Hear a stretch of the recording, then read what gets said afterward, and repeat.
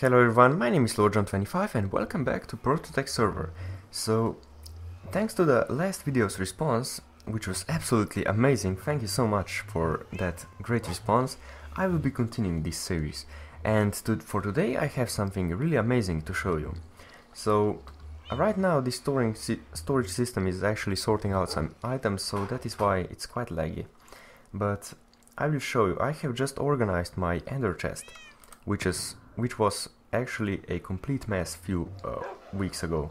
So over here we have five shulker boxes which will be filled with random stuff. And also we have a valuables shulker box. Then we have one shulker box for building blocks for sand redstone components food and rockets quartz ore from, from mining that large nether tunnel and also some tools so that is actually a lot more organized than before and I think that I will save a lot of time because I will not have to spend time looking for these items, which are now quite organized. For today I have planned to build a farm in the end, so let me just quickly show you in my creative single player world what I have designed. So yeah, you have probably guessed it by the thumbnail of this video, but I will be building a cactus farm in this episode. So this is the original design that we have thought of on the Prototech server, which is not that great actually. Let me just quickly tell you why. Well, first of all, it's 6 blocks high, which is quite high, and you need 24 blocks of volume for one cactus, which is quite high as well. But the good news is that it is actually 100% efficient. That basically means that every cactus that will be harvested from this cactus over here will be collected in the storage system. At least I will just keep it at 100% because it's much easier to calculate. But in reality it could be 99.999. So then I created this design. This design is actually way better than this over here because it is only 4 blocks high and it uses only 16 blocks per one cactus. And, but the bad news is that it has 80% of efficiency. That is mainly because these gla glass blocks, glass panes, have a large hitbox and sometimes the cactus will just land on top of there and despawn. So that is why I have designed this over here. I have replaced the glass with trap oak uh, fence gates and these can be opened and whenever I do that the items can freely go through. So this design over here is actually stackable. And the efficiency is 98.3%, which is actually enough. And related to this farm over here, it can produce one and a half times more cactuses than this farm. So I will be definitely building this farm on the Prototech server. Now let me just quickly show you how this thing works. Uh, first of all, I will just power on this farm so it doesn't uh, lag the single player world. So as you guys can see, whenever I flip the lever, the pistons reject and pull these fence gates down, which will then be harvesting cactuses. Some of the cactuses will still land on top of these redstone blocks, but that doesn't quite matter as much, because that's really not a lot. So now let's build this stuff on Prototech server. Currently we are in the lobby of the Prototech server. Just listen to this thunder noise in the background. Eh, it's quite obvious who is doing this. Now I have two shulker boxes filled with stuff that I'll be using to build this farm. And as you guys can see I am in the end. And this is the portal where this farm will actually stand. So let's right go through it. So over here there is a rabbit farm already and I was thinking about building the farm on the opposite side over here because there is still a lot of space left. And this is the last farm for this uh, gate portal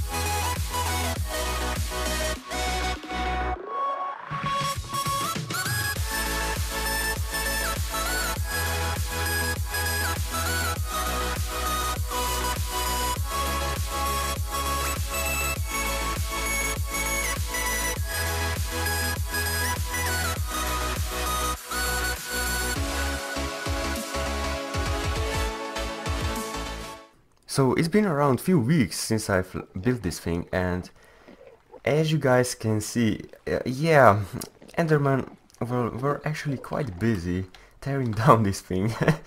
and yeah, so I will have to rebuild some of this stuff, but it seems like someone was AFKing over at this rabbit farm, which caused some Endermen to spawn and yeah, dismantle some of the things. But that doesn't really matter, because I will because I will correct uh, the damage that they have done, and then I will start building the upper part, which will have the cactus texture on it. So let me just quickly get rid of this Enderman, and then we will start building the top part.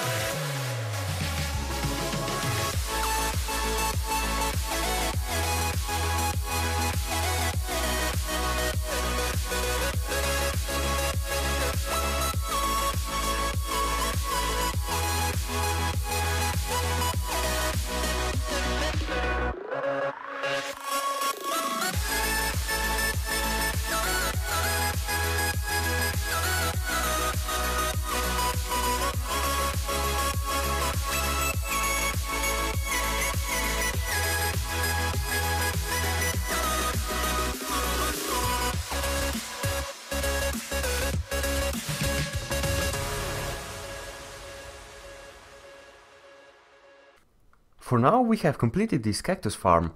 We maybe need to add some shulker box loader system because over here the rabbit farm also has one and I'm not quite sure if we need one but let me just quickly show you how I did the entire farm.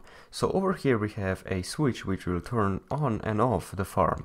So whenever I flip this lever the pistons will retract, pulling down the slime block extensions which will cause the entire farm to start.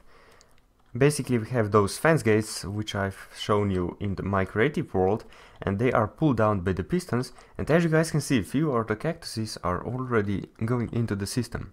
This farm is not very quick but I think that because cactuses are the type of resource we need a lot it should be enough of for now.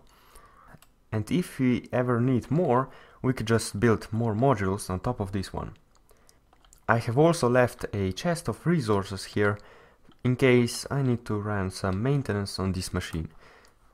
So these are just basic resources for repairing the machine. The redstone is not very complex, it's just a redstone signal that powers those pistons and pushes them up or down. Now I think it's time to investigate where those cactuses actually go because I'm not quite sure. So as you guys can see, one of the cactuses is already coming, so let me just quickly go through the portal. And okay, it seems like the cactuses will land on this block. But where exactly does this thing go? If I'm correct, all the items from the end should end up in this location over here in the overworld. And because there is no solid block above, they will land in this water source over there. So this thing should cycle them around, so should cycle uh, items around and then they should be sorted by these chests over here. So I should just check if there is any cactus chest over here and if there's not any, I should make one probably. I think that I have found the location where the items from the end were going, so yeah, these items looks very familiar to me. I think that, yeah, these are mine, probably. now this system should be fully functional, so if I throw some cactuses over here, they should make their way over here, and yeah, they were removed by this hopper and are now placed inside of these chests. Yeah, so that's it for this project. Let's move to another one. The next thing that I'll be working on this server is actually really special. So if I just press F3, you can see that we are almost at 100,000 days on this server. So I was thinking about building some countdown clock which will just count down towards 100,000 and when these days reached it will shoot some fireworks into the sky or something like that. We will see. Let me just quickly grab some more resources and we will start building. I have now crafted a bunch of rockets, which all have different colors inside.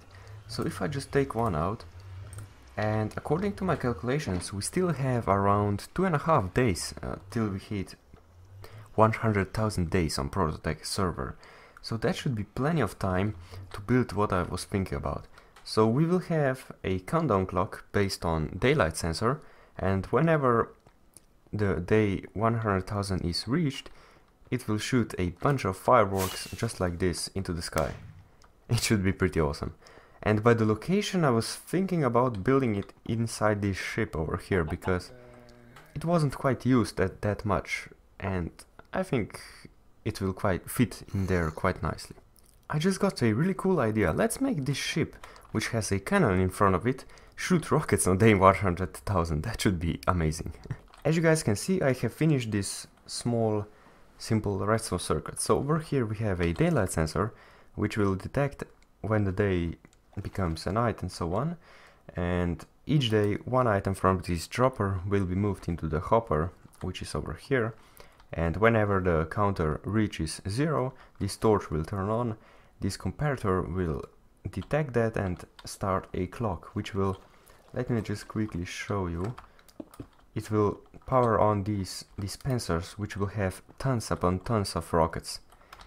Now I'm just testing to see if this machine actually works. I have added 7 redstone pieces over here and that means that whenever the day will change, at the same moment this dispenser or dropper will dispense the last item out, the comparator will detect that, send a signal to these droppers or dispensers and then start shooting those rockets. It will take quite some time actually. I have I have done some testing and it should be around 7 minutes, which is enough for me. So I will just quickly close this thing up and that's it for this project. So thank you so much for watching guys, this has been Lord Jon 25 and I will see you in the next episode. Oh, those are the wrong rockets.